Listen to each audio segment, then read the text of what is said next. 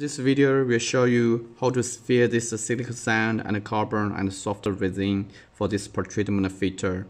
Firstly, use any of the clothes to block in this pipeline. Make sure the filler no enter this pipeline. Secondly, pour this 2 to 4 mm silicon sand at the bottom of the filter vessel.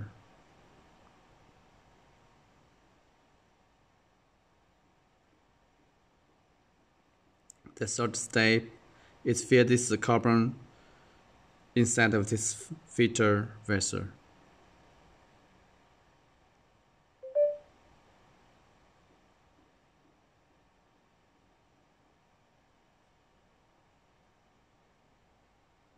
The last step is install this controller for this filter.